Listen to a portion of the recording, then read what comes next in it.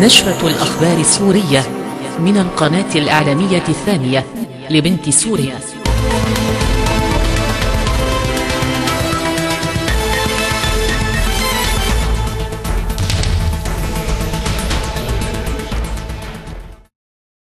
حرر الجيش السوري منطقة دورين بريف اللاذقية شمال غربي البلاد بعد أن استعاد في وقت سابق تلة دورين الاستراتيجية.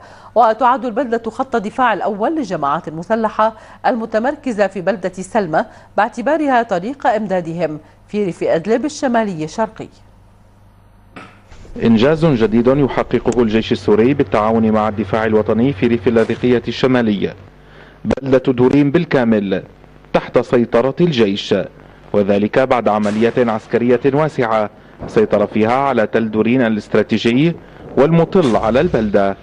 جبال وصخور وغابات هذه هي طبيعة المنطقة التي استطاع الجيش السوري تطهيرها من المجموعات المسلحة والتي تعتبر خط الدفاع الأول عن بلدة سلمى المعقل الرئيسي للمسلحين في ريف اللاذقية الشمالية وطريق إمداد نحو ريف إدلب الشمالي الشرقي. هذا الانتصار الذي حققه الجيش العربي السوري لانتصار بانتصارين. الانتصار الأول بأنه يشدد الخناق على هؤلاء الإرهاب الارهابيين ويعطي قوة دافعة للجيش العربي السوري في التقدم باتجاه سلمى إضافة بأنها قطع الإمداد لهؤلاء الإرهاب الارهابيين باعتباره هو الشريان الأول باعتبار أنه يشكل الحالة الاستراتيجية الأولى والنوعية لهم في شمال اللاذقيه ومع تطهير بلدة دورين يكون الجيش قد قطع شريان إمداد مهم على المجموعات المسلحة المتحصنة في بلدة سلمى وضيق مساحة الحركة عليها بالإضافة إلى قرب إنهاء تواجد المسلحين في ريف اللاذقية الشمالية. من ريف اللاذقية الشمالية. علي علي العالم. هذا وقتل أمير جماعة داعش الإرهابية في جنوب غرب مدينة حما أبي عمار الجزراوي مع 26 من عناصره في غارة جوية للجيش السوري قرب بلدة حمادي عمر وسط البلد. وأعلن بيان لداعش على تويتر مقتل الجزراوي واسمه الحقيقي ذيب حديجان العتيبي. ودمر الجيش قافلة وآليات عسكرية وقضى على عشرات المسلحين في اللطامنة والعقيربات والقسطل الجنوبي بريف حما. وقتل مسؤول جبهة النصرة في بلدة بيت سحم بريف دمشق الجنوبي المدعو أبو رامز بطاطية كما حرر قرية أبو حارات شمال شرق السويداء ودمر الجيش السوري مستودعات للأسلحة والذخيرة للمسلحين وقتل عددا منهم في كفر ناسج وعقربة وشيخ مسكين وزمري. تجددت الاشتباكات بين اللجان الشعبية التي تدافع عن بلدتي نبل والزهراء في ريف حلب الشمالي مع المسلحين من الجهة الجنوبية لبلدة الزهراء. وقال مراسل العالم أن اللجان الشعبية صدت إرهابيي جبهة النصرة في الجهة الجنوبية من بلدة الزهراء من جهة جمعية الجود السكنية. وتقوم المجموعات المسلحة بمحاولات يائسة لاقتحام البلدتين وتقصفهما بالصواريخ والقذائف العشوائية. يشار إلى أن المدينتين تتعرضان إلى حصار مطبق, مطبق منذ نحو عامين من قبل المجموعات الإرهابية المسلحة المدعومة من تركيا وقطر والسعودية. من جهة ثانية المندوب السوري لدى مجلس الأمن بشار الجعفري قال إن الرئيس بشار الأسد يمكنه تنفيذ أي حل وأن الوقت قد حان كي يقبل الغرب بأنه باق في السلطة. وأضاف الجعفري أن ما يجري في بلاد حرب إرهاب دولي وأكد أن الوقت قد حان كي تتخلى القوى الغربية عن استراتيجية فاشلة تقوم على محاولة تقسيم منطقة الشرق الأوسط إلى جيوب طائفية. وكشف الجعفري أن وفودا أوروبية عديدة زارت دمشق لطلب تعزيز التعاون ضد الإرهاب. وقال إن بعض الدول تخلق الذرائع لمواصلة العدوان على السيادة السورية. هناك من يريد أن يسيء استخدام آه، فريق تقصي الحقائق لكي يضع الحكومة السورية في الزاوية ويتهمها باستخدام غاز الكلورين. في حين أن الحكومة السورية هي التي طلبت التحقيق في استخدام غاز الكلورين. ومع ذلك فريق تقصي الحقائق لم يذهب إلى القرى الخمس التي حدث فيها آه، آه، استخدام غاز الكلورين. هذا الكتاب ظهر قبل حوالي شهر شهرين.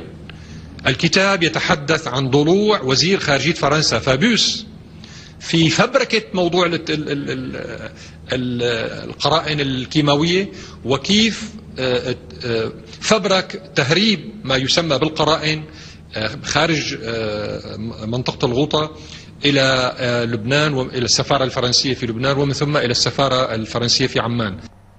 إلى سوريا حيث أفاد مراسل الميادين في حلب بأن الجيش السوري يحاصر مجموعة من المسلحين تحصنت في مزرعة قرب حندرات في ريف حلب الشمالي حيث أوقع عددا من القتلى والجرحى في صفوفهم. يأتي ذلك فيما نفت مصادر خاصة للميادين ما تناقلته مواقع تابعة للمعارضة عن سيطرة المجموعات المسلحة على تلة المضافة الاستراتيجية في محيط قرية حندرات. وأكدت المصادر أن الفصائل المسلحة لم تحرز أي تقدم في المنطقة. وكان مراسل الميادين قد أفاد بمقتل أكثر من عشرين مسلحة من جبهة النصرة والجبهة الشامية في كمين للجيش السوري قرب بلدة بشكوي في ريف حلب الشمالي. وأضاف أن الجيش السوري تمكن من صد أول هجوم على بشكوي قتل العشرات من المسلحين. ولمزيد من التفاصيل حول ما يجري في حلب. ينضم إلينا مراسل الميادين من هناك رضا الباشا. تفضل رضا. آه، نعم هنا فعلا الجماعات المسلحة تعمل الآن جاهدة للتقدم باتجاه تلة المضافة. تدرك الجماعات المسلحة أهمية هذه التلة لأن السيطرة عليها تعني قطع خطوط إمداد الجيش السوري باتجاه بلدة حدارات إضافة إلى بلدة باشكوي. حشدت مئات المقاتلين آه، كما دعت لإحضار مقاتلين أيضا من ريف أدلب آه، حيث قتل عدد من قادة الفصائل المسلحة من ريف أدلب قتلوا آه، في قرب تله المضافة. الأعداد من المسلحين حسب ما ورد من هناك بأن الأعداد تتجاوز 800 مقاتل من الجماعات المسلحة في تله المضافة. تشهد اشتباكات عنيفة جدا تدخل فيها الطيران الحربي في الجيش السوري الذي يقصف خطوط إمداد المسلحين بالقرب من تله المضافة إضافة إلى دخول المدفعية الثقيلة للجيش السوري على خط الاشتباكات. إضافة إلى أن الجماعات المسلحة تعمل على الاستفادة من كافة أنواع الأسلحة لها تستطيع أن تتقدم اتجاه تله المضافة. بالنسبة لبقية الجبهات تبدو هادئة نسبيا نسبيا مقايسة مع تله المضافة التي تسعى الجماعات المسلحة للسيطرة عليها.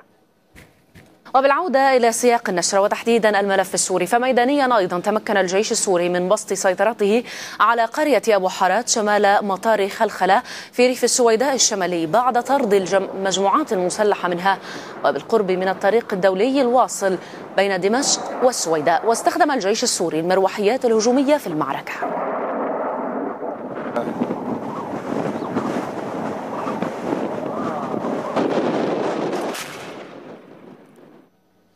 وفي ريف اللاذقية الشرقي يواصل الجيش السوري تثبيت مواقعه في بلدة دورين بعد استعادته السيطرة على التلة الاستراتيجية في تلك المنطقة. وهي سيطرة أتاحت له الإشراف بالنيران على مواقع المسلحين وتقدم وحداته نحو البلدة واستعادتها.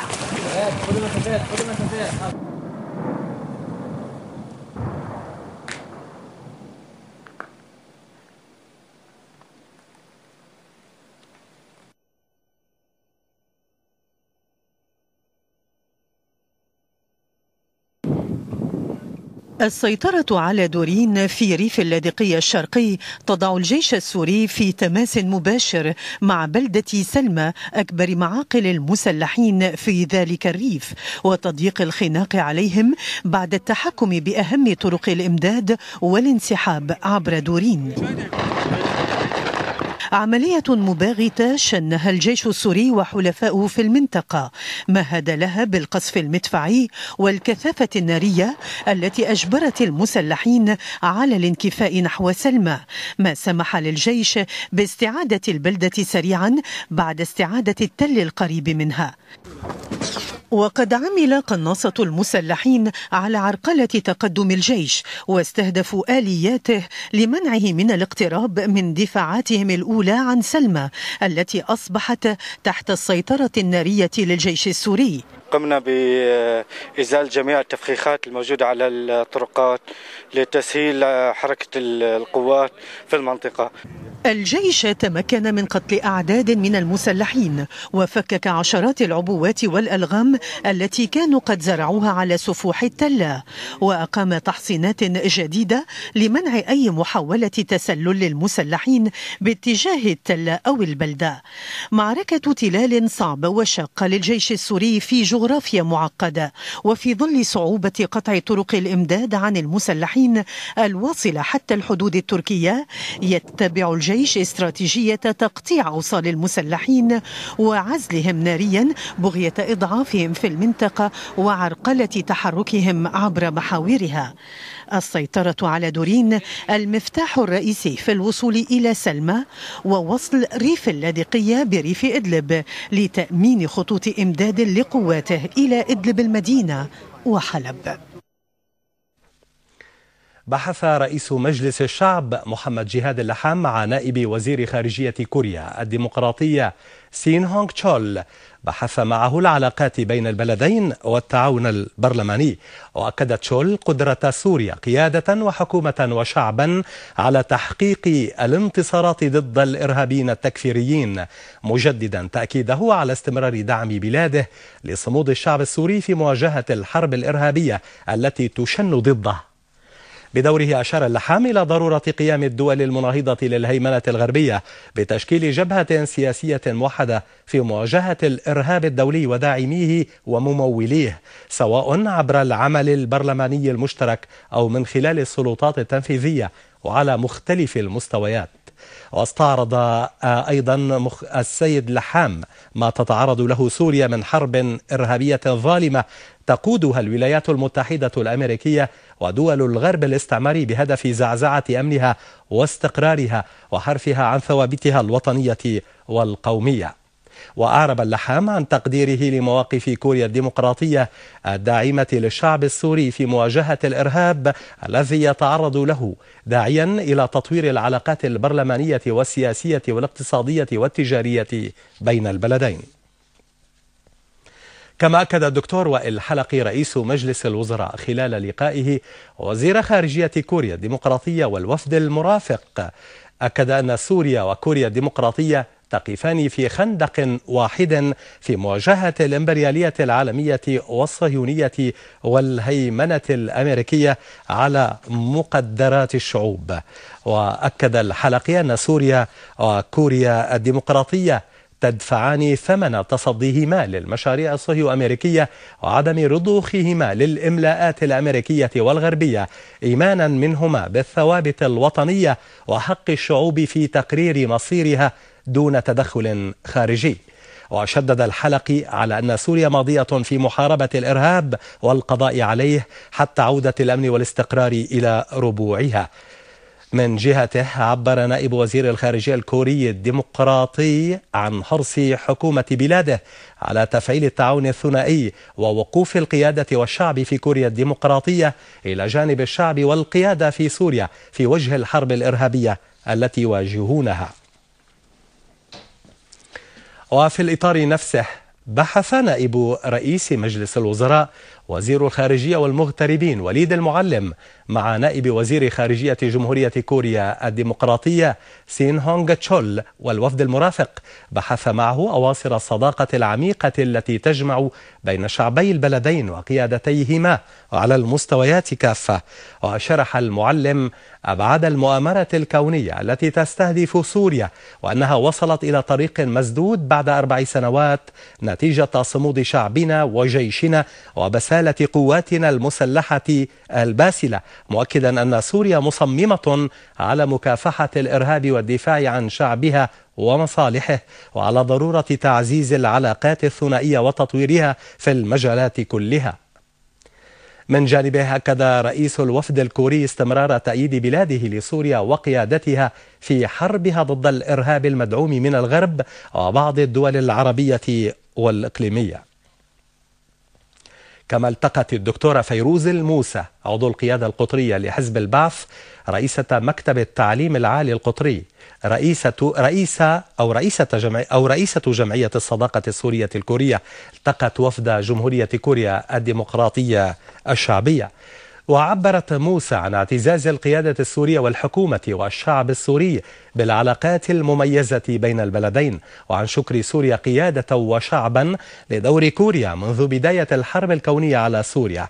واستعرضت الدكتورة موسى تجربة سوريا في مجال التعليم العالي ومجالات أخرى يمكن لجمعية الصداقة السورية الكورية تطويرها بما ينعكس إيجابا على البلدين وتقريب المسافات بينهما.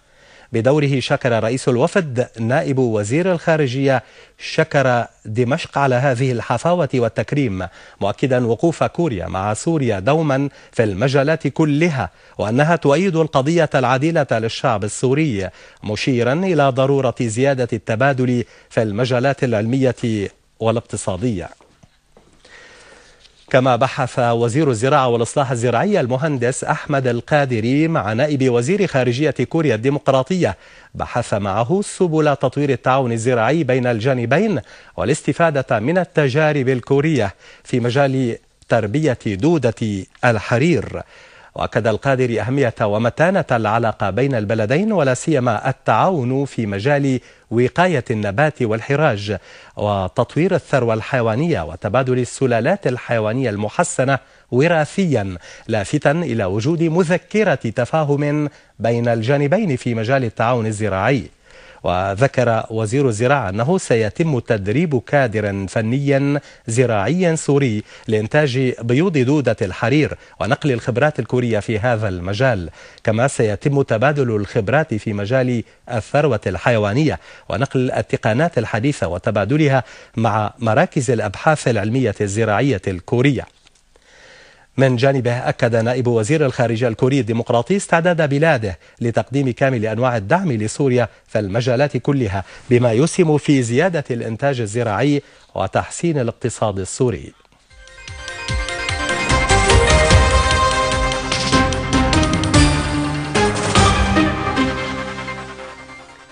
القيادة القومية لحزب البعث العربي الاشتراكي أكدت أن ذكرى ثورة الثامن من آذار تمر وسوريا تحقق الانتصارات على التنظيمات الإرهابية وداعميها ويواصل الجيش العربي السوري تقدمه ملحقا محققا أو ملحقا خسائر فادحة بالإرهابيين المرتزقة.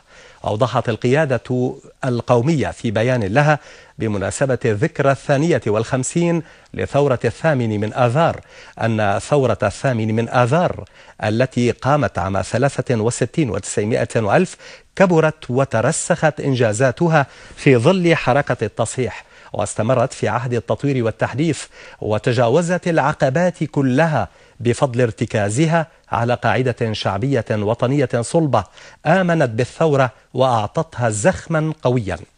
وأكدت القيادة القومية أن الشعب العربي السوري واجه الخسائر المادية والمعنوية على مختلف المستويات بإنتاج مبادرات تنم عن وعيه الوطني والقومي وصدق انتمائه الأصيل.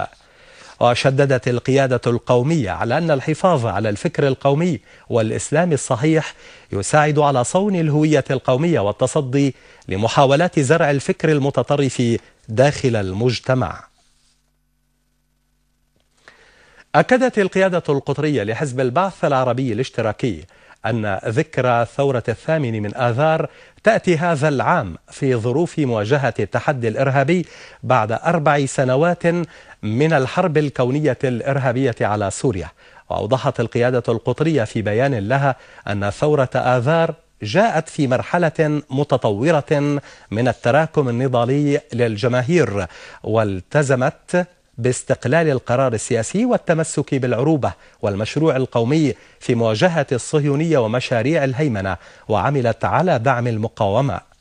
واختتم البيان بالقول إن الحرب الإرهابية على سوريا أنصع دليل على أننا منذ آذار في الطريق الصحيح وأن واجبنا اليوم هو إضافة أو إضافة إلى الدفاع المستميت عن صروح الاستقلال والتنمية في وجه الإرهاب أن نعمل بكل ما أوتينا به من جهد من أجل تطوير هذه الصروح وتخليصها من عثراتها وعيوبها وتعزيز آليات التجديد في مسارها. رئاسة هيئة أركان جيش التحرير الفلسطيني أصدرت بدورها بيانا بمناسبة ذكرى ثورة آذار المجيدة أكدت فيه أن الثورة الثامن من آذار سعت لبناء الدولة والإنسان لأنها ثورة وطنية وقومية في أهدافها وعملها وفكرها. وأكد البيان أن ما تشهده سوريا من إرهاب هو خريف قاتل ومؤامرة دولية إرهابية تسعى بتخطيط صهيو أمريكي وبأدوات إرهابية إلى تقويض أسس الدولة ومؤسساتها. أختتم البيان بالقول إننا في جيش التحرير الفلسطيني ومعنا جماهير شعبنا العربي الفلسطيني. نؤكد ثقتنا بنصر سوريا وسقوط رهانات المتآمرين ومخططاتهم.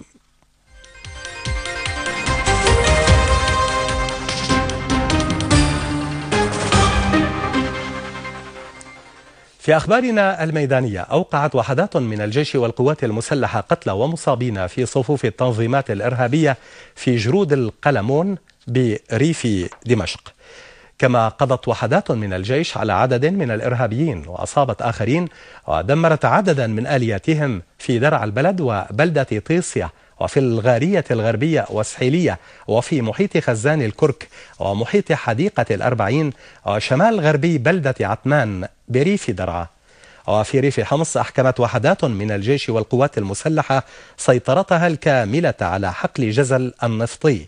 وقضت على عشرات الإرهابيين بعضهم من جنسيات أجنبية من بينهم أبو صهيب البلجيكي وأبو العز اليماني ودمرت أسلحتهم وعتادهم وصادرت كميات من الأسلحة والذخائر كانت بحوزتهم. كما دمرت وحدات أخرى من الجيش أوكارا ومستودعا للأسلحة والذخيرة وآليات للتنظيمات الإرهابية وأوقعت أفرادها قتلى في قرية السعن بمنطقة تلبيسة وفي الرستن ومزارع الغجر. وفي ريف حماة قتل الإرهابي ديبح ديجان العتيبي الملقب بأبي عمار الجزراوي والي تنظيم داعش الإرهابي في المنطقة الوسطى وأبرز المسؤولين العسكريين للتنظيم الإرهابي في عملية نوعية نفذها سلاح الجو في الجيش العربي السوري. تم خلالها تدمير رتل يضم عشرات العربات القتالية في منطقة حماد عمر بريف المحافظة الشرقي. كما قضت وحدات أخرى من قواتنا على عدد من الإرهابيين وأصابت آخرين ودمرت عربة مصفحة وآليات بمن فيها في اللطامنة والعقيربات والقسطل الجنوبي وكفر زيتا وطهماز وصلبة والمستريحة. أما في ريف إدلب فقد أردت وحدات من الجيش والقوات المسلحة العشرات من الإرهابيين قتلى في سراقب والسودة ووظأفة ومرعيان وأبو الظهور وفي البدرية والطيبات ومجدوليا ومداجن حلوز. إلى ذلك قضت وحدات من الجيش على عدد من الإرهابيين ودمرت لهم عربتين مزودتين برشاشات مضادة للطيران في تل شيب وتل أصفر بريف السويداء الشمالي الشرقي. لأن الوطن يستوعب جميع أبنائه فقد تمت اليوم تسوية أوضاع 56 شخصا في ريف دمشق ممن سلموا أنفسهم وأسلحتهم إلى الجهات المختصة لبدء حياة جديدة بعد العودة إلى حضن الوطن الأغلى والأسمى متعهدين بعدم المساس بأمن الوطن والمواطن. ونتمنى من كل من يحمل السلاح يسوي وضعه يسلم حاله بأقرب وقت. والحمد لله رب العالمين. أحلى معاملة وأحسن معاملة من الجيش العربي السوري. الحمد لله طلعنا ورجال الجيش عاملونا أحسن معاملة. والحمد لله طلعنا بخير وسلامة كل الشباب طلعت بخير وسلامة. وإن شاء الله أنا بوجه رسالة لكل اللي ضلوا جوا إنهم يطلعوا لبرا ويسووا وضعا ويرجعوا لحضن الوطن. لأنه ما لنا غير حضن الوطن. آه، نتيجة للمزيد والكثير من الحوارات واللقاءات والاتصالات مع المجموعات المسلحة في المنطقة آه، التي تقع جنوب دمشق. استطعنا أن نتصل آه، مع هؤلاء ونصل إلى اتفاق لتسليم أسلحتهم والعودة إلى حضن الوطن. بناء على توجيهات القيادة السياسية بتسوية أوضاع من غرر بهم من المسلحين وإعادتهم إلى حضن الوطن. عناصر فاعلين. تمت تسوية أوضاع. ما يقارب ستون شخص في هذا اليوم عادوا إلى حضن الوطن. وزير الدولة لشؤون المصالحة الوطنية الدكتور علي حيدر أكد خلال لقائه الفعاليات الاجتماعية والدينية بمحافظة الحسكة أن الوزارة تركز في عملها على المبادرات الأهلية في المصالحات. وعلى إعادة من غرر به إلى حضن الوطن. المصالحة الوطنية ودورها في حل الأزمة التي يمر بها الوطن الحبيب سوريا كانت محور الاجتماع الذي جمع الوزير الدكتور علي حيدر مع عدد من وجهاء العشائر وبعض الفعاليات في محافظة الحسكة حيث تم التركيز على أهمية الحوار للوصول إلى مصالحة وطنية حقيقية وتفعيل دور هذه اللجان على الأرض من خلال اختيار الأشخاص المناسبين. لقاءنا اليوم آه، مع كل فعاليات المجتمع السوري في محافظة الحسكة دارت حول عنوان واحد هو آه، تحويل هذه المحافظة أو آه، تأصيل فكرة أنها محافظة المحبة والسلام وأن كل ما يعتري هذه المحافظة آه، لا يخلو من أنه سحابة صيف وأن أبناء هذه المحافظة أكدوا بمختلف ألوان الطيف الواحد على أنهم جذور ثابتة في الأرض السورية. هذا اللقاء وهذا الاجتماع وهذا الحوار الذي جرى اليوم هذا يزيدنا أن نكثر من الجهد مع المكونات المجتمعية لكي تؤازرنا لكي تساعدنا في أن نحث الإخوة المواطنين الذين لديهم أوضاعا أمنية خاصة أن يسلموا أنفسهم ليعودوا إلى حضن الوطن. هذا وقد شارك الحضور بطرح العديد من الأفكار والرؤى التي تطور عمل اللجان بالإضافة إلى تعزيز ثقافة المصالحة الوطنية من أجل تخطي المؤامرة التي أحيكت للشعب السوري. لمسنا من كل الأطراف بأن هذه أبناء هذه المحافظة وأبنائها الشرفاء هم الحريصين وهم المؤكدين على وحدتهم الوطنية رغم كل المؤامرات التي تحاكى ضدهم. عملنا كثيرا في لجنة مصالحة أبو غويران آه، بإعادة تقريبا أكثر من 90 آه، مسلح سلموا سلاحهم إلى آه، الحكومة وحصلوا على وثائق تسوية وذهبوا أحرارا. قامت مجموعة إرهابية. بقضاء على قرى بأكملها تسعة إلى عشرة قرى جنوبية. 1400 عائلة لجوا إلى مدينة الحسكة ومدينة قامشلي. اللي نريده من وزارة المصالحة أو لجنة المصالحة إعادة هالأهالي إلى أهلهم. من الأمور اللي طالبناها مقر للجنة المصالحة وتعيين رجال صادقين وطنيين. وقد قام الوزير حيدر بجولة ميدانية برفقة محافظ الحسكة المهندس محمد زعال العلي مع عدد من المعنيين بزيارة الكنيستين السريانية الأرثوذكسية والأشورية في المدينة مشددا على ضرورة بذل كافة الجهود للإفراج عن الآشوريين المخطوفين لدى تنظيم داعش الإرهابي.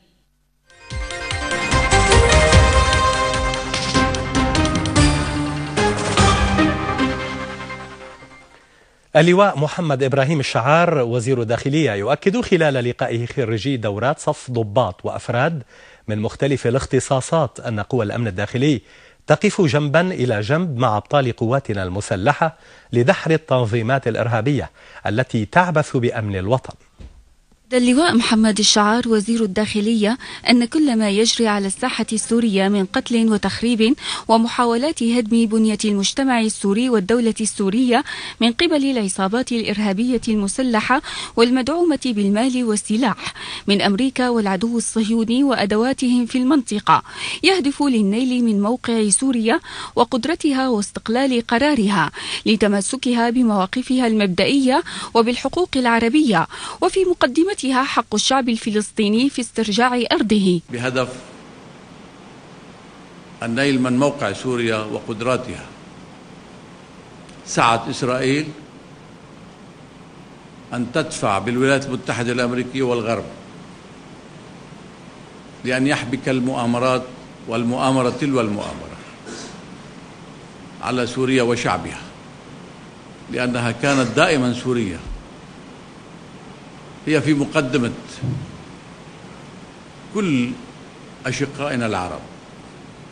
كانت في مقدمة وفي طليعة كل من يطالب بحقوق الشعب الفلسطيني. سوريا التي كانت دائما بالمرصاد لكل المخططات التي تحاك على المنطقة العربية. سوريا دائما كانت هي التي تقول لا لأي مشروع يستهدف سيادة بلادنا. وبين اللواء الشعار خلال لقائه خريجي دورات صف ضباط وأفراد من مختلف الاختصاصات أن سوريا بشعبها وجيشها وقواها الأمنية مستمرة في مكافحة الإرهاب حتى إعادة الأمن والاستقرار إلى كامل تراب الوطن مشيرا إلى أن قوى الأمن الداخلي أثبتت على امتداد ساحات الوطن قوتها وصمودها وإيمانها بوطنها وقائده وكانت دائما جنبا إلى جنب مع أبطال قواتنا المسلحة في دحر التنظيمات الإرهابية المسلحة التي تعبث بأمن الوطن. أنتم الذين ستحملون راية القانون راية النظام. أنتم الذين المؤهلون للقيام بواجباتكم الوطنية الحياة وخاصة في هذه الهجمة التي يتعرض فيها بلدكم سوريا الحبيبة إلى أشرس أنواع المؤامرات التي تحاك ضد أي شعب في العالم. وشدد وزير الداخلية على أهمية التدريبات والعلوم المسلكية والعسكرية والمعرفية التي تلقاها الخريجون في تمكينهم من أداء واجباتهم الوطنية في تطبيق القانون وحفظ الأمن والنظام بحيث يكون مصدر أمان وطمأنينة للمواطنين وخاصة في ظل الظروف التي تتعرض لها سوريا. أوصيكم أن تحافظوا على مهاراتكم وتطوروها. التدريب والتأهيل يبدأ في وقت ما لكنه لا ينتهي. أنتم كرجال قوى الأمن الداخلي تواجهكم تحديات حفظ النظام العام. النظام العام عنوان كبير ينضوي تحته مجموعة كبيرة أيضا من الآليات والإجراءات التي يجب أن تقومون فيها من واجباتكم أن تقضوا على الجريمة وتقصوا المجرمين. من واجباتكم أن تحافظوا على كرامات مواطنيكم.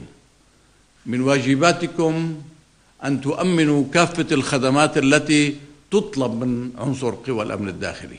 ودعا اللواء الشعار الخريجين إلى التسلح بقواعد الانضباط من خلال تنفيذ المهام الموكلة إليهم بعزيمة أشد والتمسك بالقوانين وتطبيقها بما يصون حقوق المواطنين ويحفظ كرامتهم. والعمل على ردم أي فجوة بين رجل الشرطة والمواطن أينما وجدت. قيادة فرع دمشق لحزب البعث العربي الاشتراكي والشعبة الاقتصادية شخصوا الوضع الراهن لليرة السورية في ندوة عقدت في قاعة السابع من نيسان بمبنى الحزب. في ملعب المصرف المركزي بقيت الكرة حيث لم يحضر بشخصه وبقيت التساؤلات قائمة والمناقشات صريحة تنتظر ولو إجابة أو ردا من الجهة المعنية. أنا على معلوماتي لما كنا ندعى كنا نحضر يعني كمسؤولين يعني فالأمر ما فيه هو كل مسؤولين قد يكون عنده شغل عنده ندوة عنده اجتماع آخر ما بعرف يعني إذا كان ولا بد عنده شغالية أخرى. السياسة النقدية التي انتهجها مصرف سوريا المركزي ومن هم الفاعلون بتثبيت سعر صرف الليرة واستنزاف مدخرات سوريا المالية وسياسة النأي بالنفس التي اتبعها القطاع المصرفي ضمن الأزمة. قضايا كبيرة ناقشها الفريق الاقتصادي في حزب البحث العربي الاشتراكي والمعنيين بالشأن الاقتصادي والفعاليات الاقتصادية والتجارية في سوريا. نحن بحاجة أنه نسمع صوت حر جريء. آه، مواطننا بحاجة أن يرى من آه، خلال هكذا ندوات آه، الوضع الاقتصادي ما هي انعكاسات هذه الحرب. نحن نعيش الآن حرب اقتصادية بكل معنى الكلمة. سمعنا كلام مسؤول سمعنا كلام جريء. هذا ليس فيه ضرر بالعكس. نحن ينقصنا المصارحة ينقصنا المتابعة ينقصنا أن نسمع آراء بعضنا البعض. وموضوع الاقتصادي هو موضوع يهم كل مواطن مسؤول وغير مسؤول. أنا يجب أن أعرف المئة ليرة التي في جيبي ماذا أستطيع أن أشتري بها؟ مواطن سواء كنت تاجر أو موظف أو صاحب دخل محدود أو غير محدود. يهم بالنتيجة أن المال الذي بجيبه ماذا يستطيع أن يحصل به؟ ندوة البعث الاقتصادية شخصت الوضع الحقيقي لليرة السورية والاقتصاد السوري ووضعت النقاط على الحروف لكن لا حلول تذكر. وبقي اقتصاديو سوريا بين أخذ ورد ووضع يتفاقم ليبقى اللغم الاقتصادي حبيس المتلاعبين برمز سيادي. لا يدركون حجم الخسارة الذي سيحدثها إذا انفجر. الهيئة الوطنية للأولمبياد العلمي السوري تبدأ اختباراتها العلمية. لاختيار الفرق الوطنية التي ستشارك في الأولمبيادات العالمية. الأولمبياد العلمي السوري يبدأ رحلة جديدة نحو تشكيل الفرق الوطنية التي ستشارك في الأولمبيادات العالمية وضمن منهجية الهيئة في العمل على التفوق العلمي المحلي والتألق العالمي أقامت الهيئة اختبارات انتقاء أعضاء الفرق العلمية الوطنية بمشاركة أكثر من مئة شاب وشابة من نخبة مبدعي الأولمبياد القادمين من مختلف المحافظات. عم نقدم اختبارات انتقاء للفرق الدولية للمشاركات العالمية. الأسئلة محتواها يعني شيء طبيعي يكون صعب وأصعب من السنوات السابقة لأنه نحن سويتنا العلمية عم تتطور كل سنة أكثر من سنة. درست وتعبت والأسئلة صعبة تماشيا مع المستوى اللي عم يكون برا. وإن شاء الله بنطلع نرفع اسم بلدنا برا. الاختبارات شملت مواد الرياضيات الفيزياء الكيمياء والمعلوماتية والعلوم الطبيعية استعدادا للمشاركات العالمية. حيث يحظى الأولمبياد باهتمام حكومي كبير إيمانا بأهمية هذه التجربة والنجاحات التي حققتها الفرق العلمية في مختلف المسابقات المحلية والعالمية. عدد الطلبة من التعليم الثانوي المشاركين زاد عن السنوات الماضية. من الطبيعي طبعا أن يكون هناك أثر لهذه الزيادة الكمية. فنحن والحمد لله طلبتنا في السنوات الماضية بجهود الهيئة الوطنية بلغوا منصات تتويج. ولكن الأهم الآن هو المحافظة على الوصول لهذه منصات التتويج وهذا يتطلب المزيد من العمل. الجهود المبذولة سواء على مستوى الإداريين أو على مستوى المدرسين أو المدربين جهود عظيمة جدا. بتجعلنا نرفع رأسنا ونفتخر فعلا بكوادرنا. سوية الأسئلة عالية تحاكي بشكل كبير آه، سوية الأسئلة التي تطرح على المستوى العالمي. آه، لدي إحساس أنه سيكون لدينا نتائج جيدة جدا هذا العام خصوصا أن الهيئة آه، حصدت العديد من النتائج على المستوى العالمي. منهجية وتخطيط عالي المستوى. نحو هدف إنشاء شباب سوري مسلح بالتميز العلمي يمثل سوريا ويحقق تقدمها. افتتح الدكتور هزوان الوز وزير التربية وأليزابيث هوف الممثل المقيم لمنظمة الصحة العالمية في سوريا. افتتحا معرض رسومات تلاميذ مدارس مرحلة التعليم الأساسي والذي حمل عنوان صحتي عنوان نجاحي حيث تم تكريم 46 لوحة فائزة تضمنت أهمية إتباع العادات والسلوكيات الصحية للحفاظ على الصحة العامة. لأنهم الأطفال بعوالمهم الخاصة. كان لابد من مخاطبتهم بطريقة غير تقليدية بعيدة عن المباشرة والسطحية. ولهذا كان المعرض الفني الذي يستبطن العديد من التوجيهات الصحية والتربوية التي عرفت وزارة التربية كيف تروجها في هذا المعرض عبر الألوان الجميلة والرسم الفني. نشكر منظمة الصحة العالمية يعني لتعاونها معنا في كمؤسسة تربوية خاصة وأن المؤسسة التربوية هي تعادل ربع سكان آه، القطر من حيث عدد السكان. فتحميل الرسائل من خلال أبنائنا التلاميذ هو خير وسيلة للوصول إلى كافة مناحي المجتمع. وهذا المعرض طبعا آه، هو آه، تضافر فكرة نبيلة مع آه، أيضا مهارة فنية للوصول والتعزيز القيم التربوية الصحيحة لتصبح سلوك تربوي وفي حياة أبنائنا. لست منبهرة بعدد المشاركين في المعرض فقط بل أيضا أعجبتني الأفكار التي طرحها الطلاب والمستوى الرفيع والثقافي العالي لديهم والأهم هو أن ينقل الأطفال هذه الرسالة. الأطفال كانوا في الوقت نفسه هادفين ومستهدفين عبر مشاركتهم الفعالة في الرسومات خصوصا وأن العديد من الأمراض بدأت تهدد مجتمعنا التربوي وجميعها من مفرزات الأزمة المحدقة بالوطن. هون عم يغسلوا قبل ما ياكلوا هنا هدول رايحين يغسلوا وهدول عم يطيروا الطيارات وهون مجهز الأكل. ما في أمراض لأنه نحن قبل ما ناكل السندويشة كمان بنغسل إيدينا. وبالبيت شو دور أهلك بتوعيتك مشان النظافة؟ أطلق مركز القياس والتقويم في وزارة التعليم العالي دورة تدريبية لإدارة الاختبارات الوطنية للتعريف بأهم واجبات ومهام اللجنة المشرفة على الاختبارات والضوابط الصارمة لتحقيق نزاهة الاختبارات الوطنية وعدالتها. في الماضي كانت وسائل الغش في الامتحان بدائية كالكتابة على اليد أو على قصاصات ورقية صغيرة والمعروفة بالراشيتا لتتطور وتصل إلى سماعات الموبايل السلكية. وآخر ما عرفنا به ليست السماعات اللاسلكية فحسب بل المخفية داخل الأذن أيضا والتي من الصعب جدا اكتشافها من قبل المراقبين.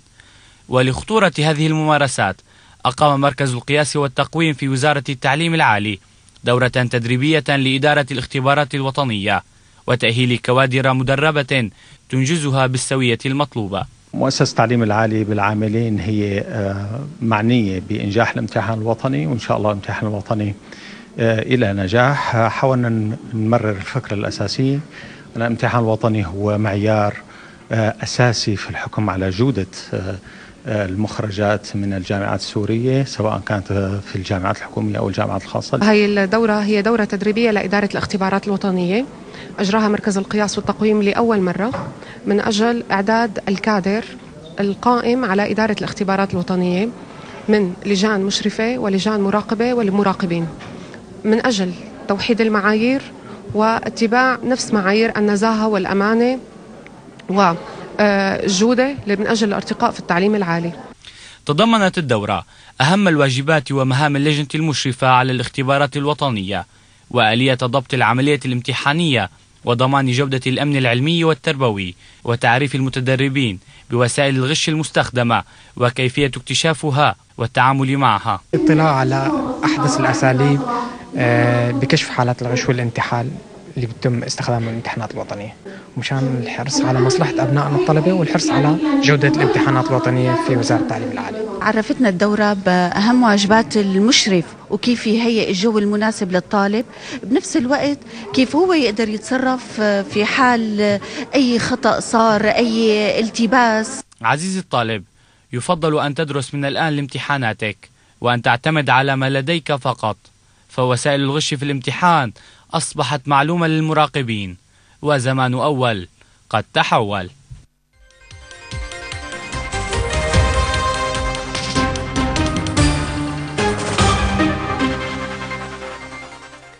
لأنها العاصمة دمشق لذلك فإن حجم مسؤوليات مجلس محافظة دمشق مضاعف لتقديم أفضل الخدمات التي تليق بالعاصمة.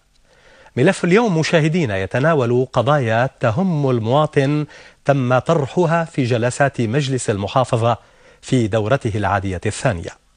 ركز مجلس محافظة دمشق خلال جلسات دورته العادية الثانية للعام الحالي على العديد من القضايا الخدمية وغيرها ومنها ضرورة ضبط أسعار الأدوية والتشدد في مراقبة الصيدليات نظرا لوجود تفاوت كبير في الأسعار بين صيدلية وأخرى.